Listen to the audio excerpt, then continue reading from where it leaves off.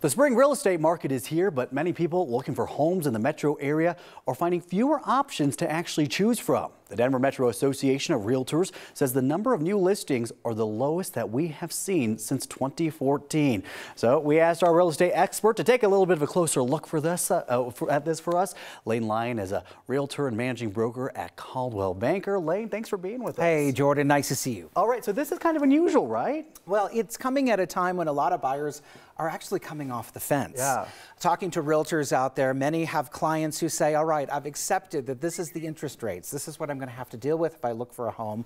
Homeowners, on the other hand, many of whom are going to be giving up that low interest rate if they go to sell, and that's a little bit of a tough pill to swallow. It's believed to be a key reason why new listings right now really are in short supply. Realtor.com says new listings are down 26% across the country.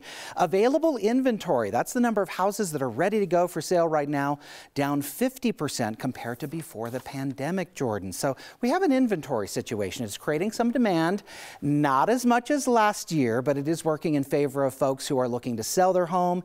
Here in the metro area, we are seeing situations where sellers who are priced right, getting more than one offer, it is pushing up the price a little bit, not as much as last year, but buyers should take note that if you are out there looking and you see a house that checks a lot of boxes, be mindful, you may not be the only one interested. Right. Okay. We're going to get to how you maybe can be the one that wins that house. Mm -hmm. Well, I guess not win it, but how you can win your bid out, sure, sure, over there, right? It's competition, everything. Um, so right now, basically, the problem is there's a lot of buyers out there, not a whole lot of sellers what are these sellers waiting for? Maybe the, a, a, good time to actually right. sell? And yeah. when is that time? It's probably the question we get the yeah. most. When is the best time to sell your house in Denver?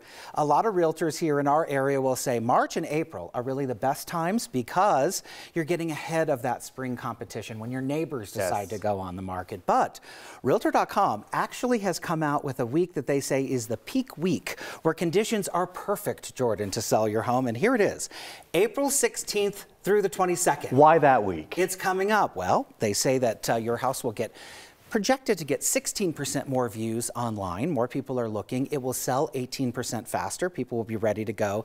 And you can list it $48,000 higher on average compared to the beginning of the year. So that's from a national perspective, just with our current market when conditions seem to be perfect. They put this out every year.